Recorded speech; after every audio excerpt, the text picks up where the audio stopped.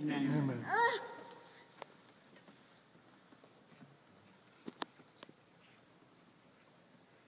And now we'll proceed to the font.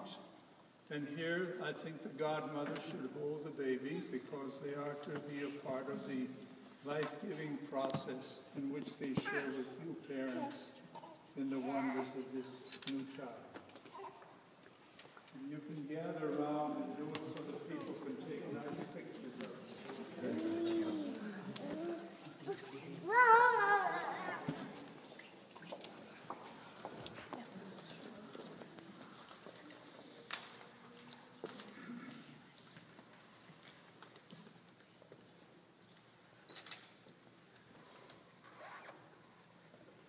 My dear parents and godparents, you have come here to present this child for baptism. By water and the Holy Spirit, he is to receive the gift of new life from God, who is love. On your part, you must make it your constant care to bring him up in the practice of the faith. See that the divine life which God gives him is kept safe from the poison of sin to grow always stronger in his heart. If your faith makes you ready to accept this responsibility, renew now the vows of your own baptism. Reject sin, profess your faith in Christ Jesus. That is the faith of the church. This is the faith in which this child is about to be baptized. And so these questions, to these questions answer, I do. Do you reject sin so as to live in the freedom of God's children? I do Do you reject the glamour of evil and refuse to be mastered by sin? I do Do you reject Satan, father of sin and the prince of darkness? I do. Do you believe in God the Father Almighty, creator of heaven and earth? Do you believe in Jesus Christ, his only Son, our Lord, who was born of the Virgin Mary, was crucified, died, and was buried, rose from the dead, and is now seated at the right hand of the Father? And do you believe in the Holy Spirit, the Holy Catholic Church, the communion of saints, the forgiveness of sins, the resurrection of the body, and life everlasting? This is our faith. This is the faith of the church. We're proud to profess it in Christ Jesus our Lord. Parents and godparents, is it your will that Henry David should be baptized in the faith of the church, which we have all professed with you? Yes. All right, so bring yeah. Henry here. Bring the towel.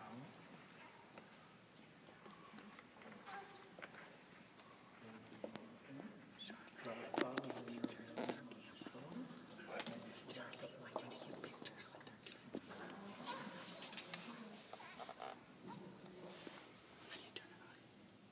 Henry David, I baptize you in the name of the Father,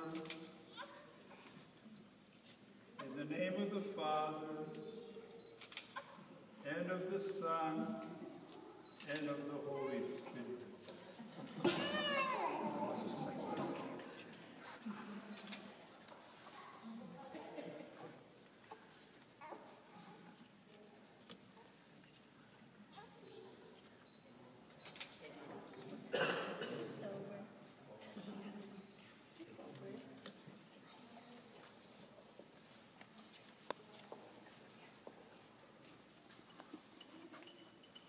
This is the fountain of life, water made holy by the suffering of Christ, washing all the world.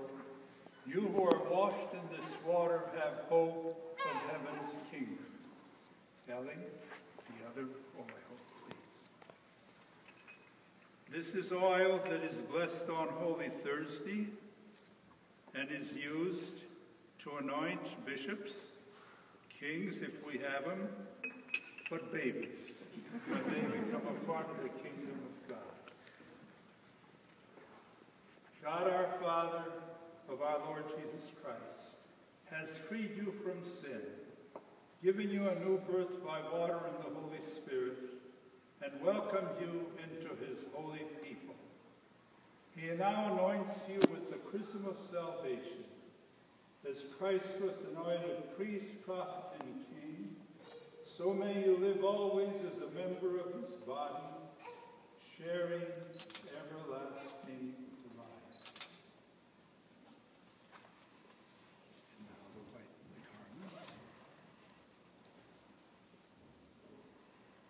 This is symbolic of the life of grace in Christ.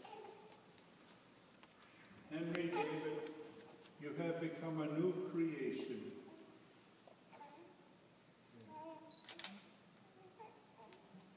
Clothed yourself in Christ. See in this white garment the outward sign of your Christian dignity. With your family and friends to help you by word and example, bring that dignity unstained into the everlasting life of heaven. Amen. And now we present him with the candle which the Godfather will hold. Can you reach the candle right there? Light it over there. You can light it one of those.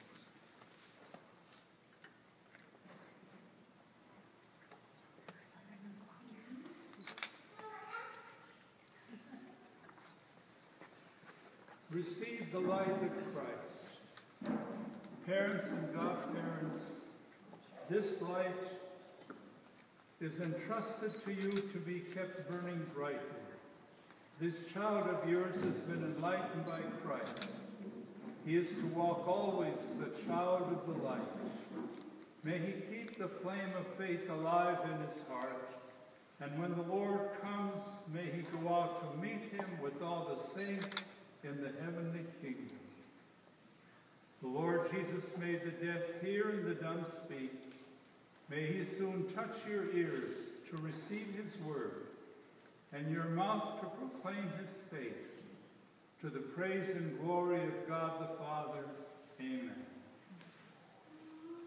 Henry David, you have put on Christ. In him you have been baptized. Alleluia, alleluia. Dearly